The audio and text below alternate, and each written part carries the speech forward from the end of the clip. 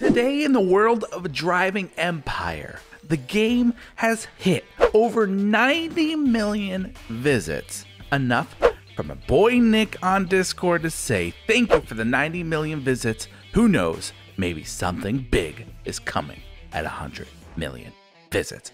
Let's go. Guys, thank you so much for coming. This is DezLand Plays. Appreciate you guys being here. Today, we are going to share some sneak peeks and updates coming to Driving Empire. Again, if you're new to the channel, I'd love for you guys to be able to hit that subscribe button, ring that notification bell, and hit us up with a thumbs up. How's your day going? I'm doing just fine. The first update I'd love to share of Driving Empire is boom it's looking like it's looking like an awesome highway. Burgess says, "Wonder what this is."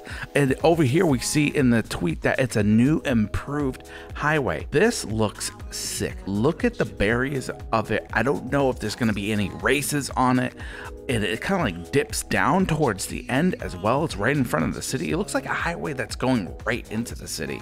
And look at the sides of it. It looks like you're not going to be able to fly off this highway very easily. I wonder what type of races will be on here, what type of updates, how much you would make for this as well. If you guys have any thoughts about this picture, what it could be where it could lead to, put it down in the comments below. I would love to hear your opinions about it. So right now, currently me and my boys are in the map right now. You guys can see this kind of like mountain. You guys can see the river. We're kind of predicting that the new highway is gonna be right here. What do you guys think down below? Because there was a city in the background. I don't see the city, but maybe if the trees were removed, maybe we could. Taking a better look, it might be, but I don't see the city, but I do see these mountains back here. So taking another grand look at the city, you could see the river bend right over here and the the skyline as well. So this very well could be where the new highway is gonna come into play. I would say this is kind of close to identical to where the picture was taken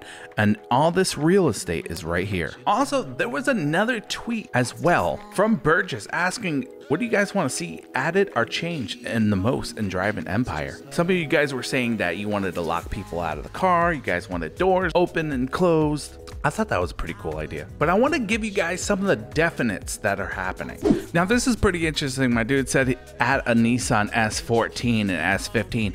And he says, oh, the S15, I like that. So he might add that one. He already says here that he's planning on remodeling pre-existing spoilers when the body kit update comes. So there's gonna be a body kit update. What? And here we have a photo of him working on deep dish rims as well.